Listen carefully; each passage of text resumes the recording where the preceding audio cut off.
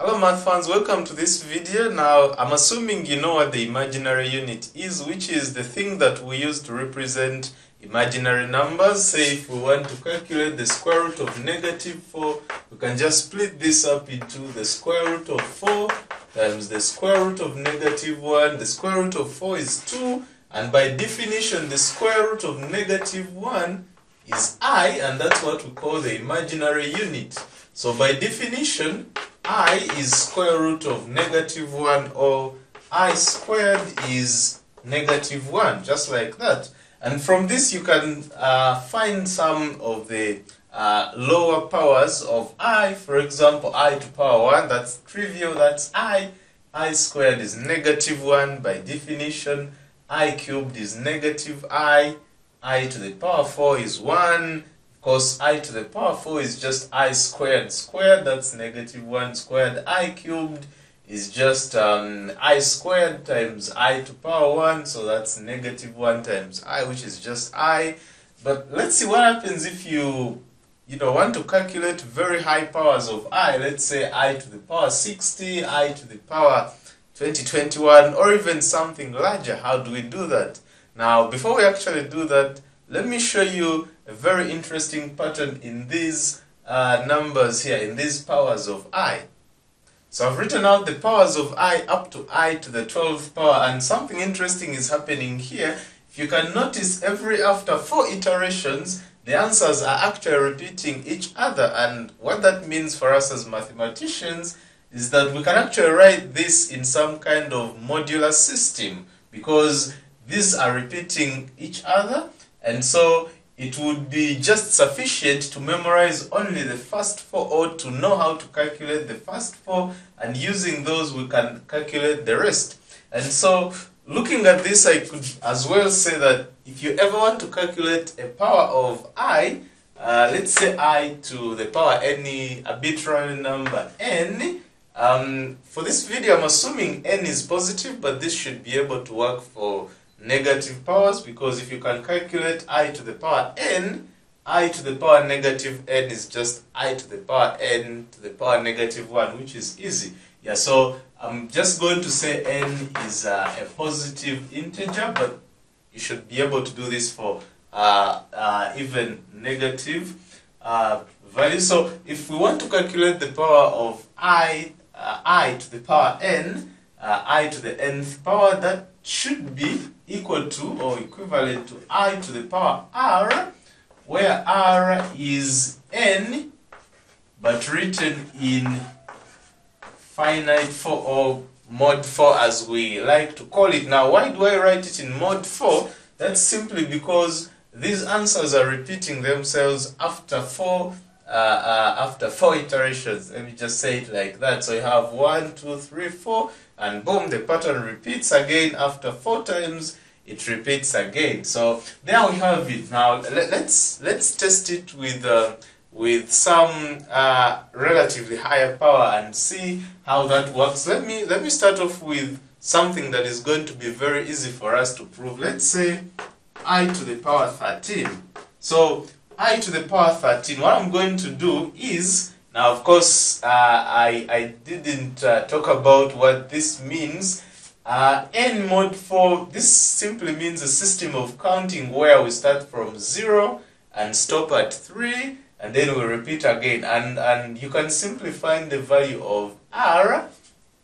Uh, uh, I don't think I can represent this in any better way but the, way you get r here is that you just get n, you divide by 4, and the remainder is going to be the value of r. That's, that's the modular system. I'll actually leave a link in the description to uh, some website, probably Khan Academy or somewhere where you can read more about the modular arithmetic.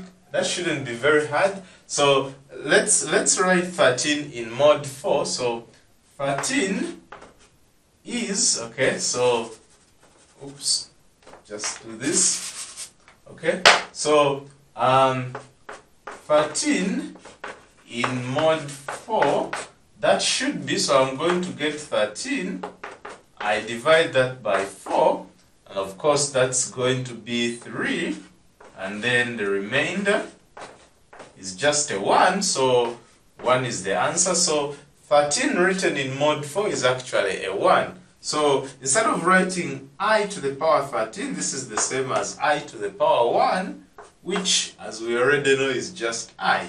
And of course the pattern will just keep repeating, but why not, uh, why not just do it from scratch and see if that works? Now, uh, um, uh, let's assume we already trust that i to the power 12 equals 1. We already know that this is true. Uh, and you can prove that, of course. So let's say i to the power 12 times i, which of course becomes i to the power 13. And you can already see that if this is 1 times i, then that's going to be a, an i, okay? There you go, so that's right. Uh, so this, this actually works for even higher powers, that's the, the beauty with it. Let's, let's try it out with uh, really huge powers. So I'll actually use the examples that I alluded to at the beginning. Let's say i to the power 60.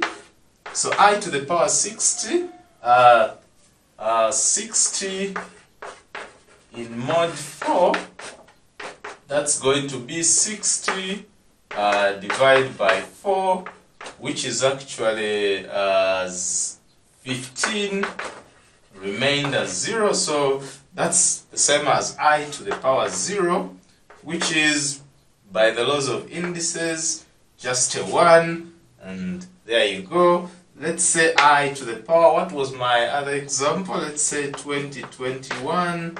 Okay, so let's see 2021 divided by 4.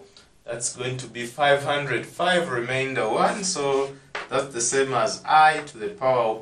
I'll just I'll just show that here, just in case.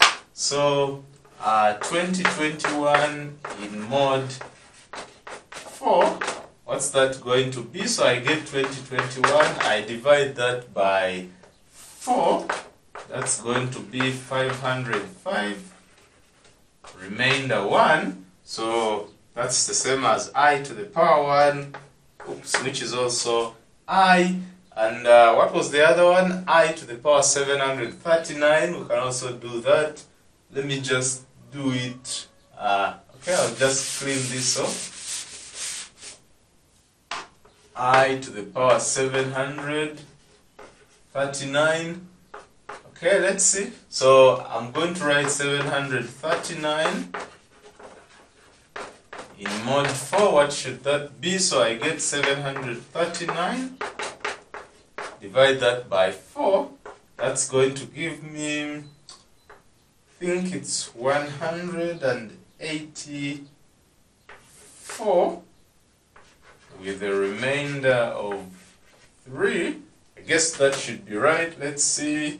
184 times 4, 7, that's 6. Yeah, that's it. So this is actually 3. So this i to the power 739 is the same as i to the power 3 and we already know i to the power 3 is just negative i so there we have it uh, i to the power 739 so using this you can actually calculate any power of i regardless of how big it is because it will always come back to only these uh, first four answers that we have here so thanks for watching this video. I hope you found it helpful. If you did, give it a thumbs up. Subscribe to the channel if you haven't.